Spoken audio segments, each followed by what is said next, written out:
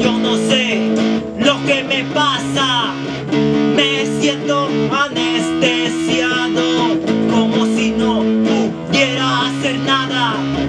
Además, no quiero